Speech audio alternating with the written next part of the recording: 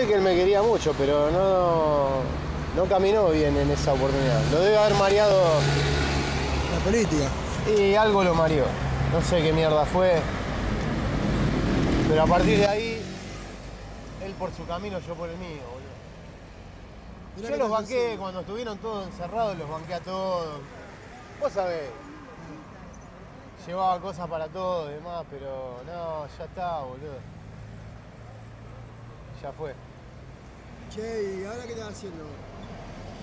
Como siempre, doy, doy clases, pinto, escribo, dibujo, laburo de lo que puedo. Bueno, vos me estás viendo, boludo.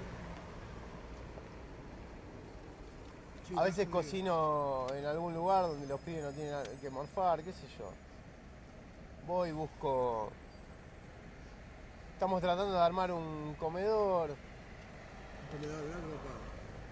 Sí, pero bueno, ahí charlando. Estoy charlando con unos chabones de una carnicería, viendo qué onda. Trato de hacer autogestión, trato de no enroscarme.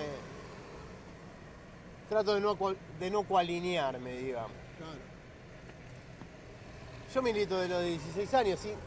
Vos del Revoluta habrá sido, Bien. nosotros éramos más grandes. Yo había estado cuando fue lo de Walter Bulacio. Bulacio, que- Bulacio. Claro, boludo. Claro.